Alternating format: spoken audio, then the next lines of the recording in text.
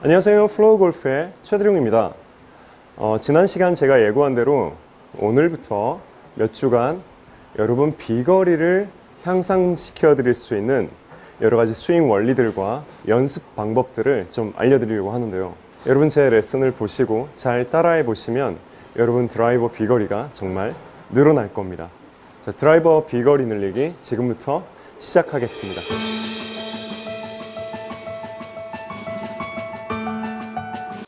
이 도구 같은 경우에는요, 상당히 좋은 게 순간 하려고 하면 내 몸을 때려요. 순간 스냅을 주면 때려요. 내 몸이 돌면서, 돌면서 자연스레 펼쳐지게 하고 어떤 릴리스 포인트가 생기고 펼쳐내집니다. 손목이 이렇게 펼쳐내져요. 그래서 이런 성질들을 잘 못 느끼시는 분들은 자꾸 연습을 해보시면 도움이 될 것 같아요. 자, 그래서 이거를 휘두르다가 이 클럽을 가지고도 비슷한 느낌의 힘의 쓰임을 연출하려고 해보는 거예요. 휘두르고. 휘두르고. 뭔가 내 몸에서 바깥으로 휘둘러 펼쳐내는 느낌이 있죠. 그런 느낌으로 백 이런 식으로 백스윙에서 뭔가 번쩍 들어서 힘을 주는 것이 아니라 자연스레 넘겨지고 그렇죠? 넘겨지고 휘두르고 넘겨지고 휘두르고 이런 느낌이죠. 자 클럽 헤드가 넘겨지고 휘두르고 이런 느낌입니다.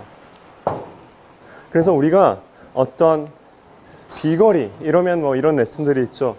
중심 이동이 먼저 돼야 된다. 팔로 먼저 치면 안 된다. 뭐 레깅이 돼야 된다. 그렇죠. 그것도 중심 이동이랑 같은 얘기죠. 또 뭐 릴리즈가 돼야 된다. 이런 테크닉들이 있어요. 그런데 이 테크닉들이 어떻게 존재하는지 아세요? 내가 힘을 어떻게 쓰느냐, 어떻게 내 몸의 근육의 힘을 공에다가 전달을 이 도구를 사용해서 전달을 하느냐와 관계가 있는 거거든요. 그래서 사실은 우리가 잘 뭔가를 휘둘러 낼 수 있다라고 얘기했을 때는요, 이렇게 휘두른다 이런다고 했을 때는 어깨에 힘이 좀 빠져 있어야 되고 빠져 있는 어깨 힘이 자연스레 체중 이동을 만들어요. 내가 휘두를 수 있는 준비를 하는 거죠. 그리고 어깨 힘이 빠져 있고 팔에 힘이 빠져 있어야 자연스레 레깅을 만들어요.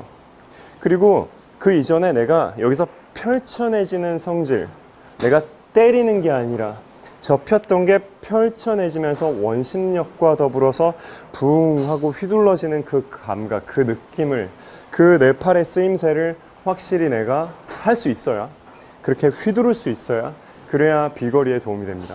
이전에 제가 이게 돼야 스윙이 된다 팔 스윙 해가지고 수건을 한쪽 감아서 이렇게 왼팔로도 휘두르고 오른팔로도 이렇게 휘두르고 했던 거 있죠.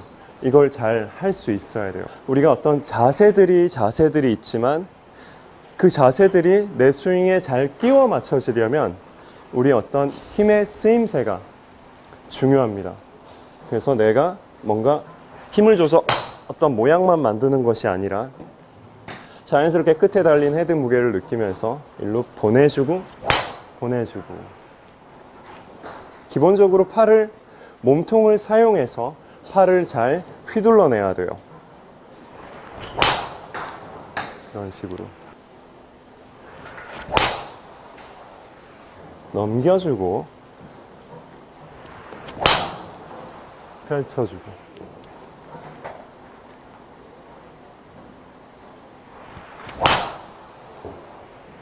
자 오늘 레슨을 제가 정리를 하자면 여러분 비거리를 늘리기 위해서는 어떤 체중 이동을 연습한다든지 레깅을 연습하다든지 하시기보다 그게 너무 부족하신 분들은 부분 연습을 해야 되겠지만 그렇기보다 몸 전체의 쓰임이 자연스럽게 이루어질 수 있게 뭔가를 휘둘러 봐야 돼요.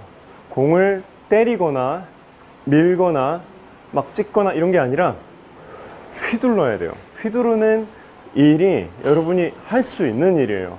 뭔가 드라이버가 됐든 아니면 저런 걸 구매하셔서 하시든 아니면 스틱이 됐든 뭔가 골프채를 거꾸로 잡고 하시든 간에 자꾸 휘둘러 보셔야 돼요. 휘두르는 것을 많이 하시면 그러면 기본적으로 여러분의 몸을 어떻게 써야 될지, 팔을 어떻게 써야 될지를 알게 되실 겁니다. 그러면 자연스럽게 체중 이동 되고요. 레깅도 되고요. 릴리즈가 될 겁니다. 이게 첫 번째입니다. 비거리에서요.